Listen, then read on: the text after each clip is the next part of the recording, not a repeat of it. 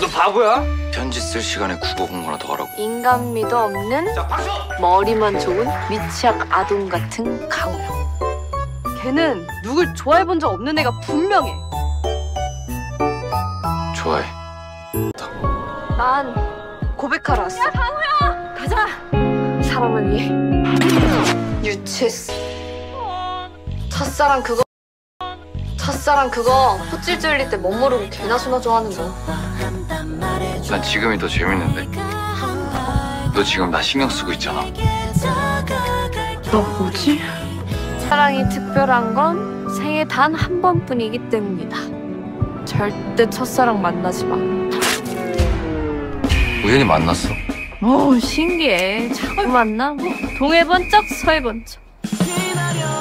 너한테는 그날이 나쁜 기억이야? 떨어져. 어? 강우영이 먼저 선을 세게 넣은 거라니까? 장난인 적 없어? 지금도 10년 전에도. 널